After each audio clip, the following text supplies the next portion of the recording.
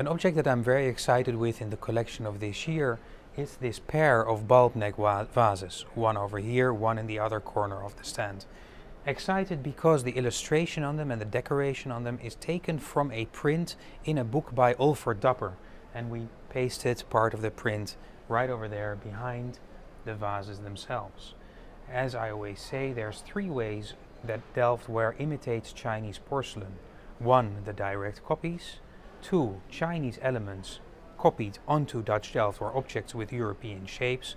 And the third type, and actually the rarest type, Chinese elements taken from books of Dutch travelers and placed onto these beautiful objects. So very exciting pair of bulb neck vases as a beautiful piece in our stand this year.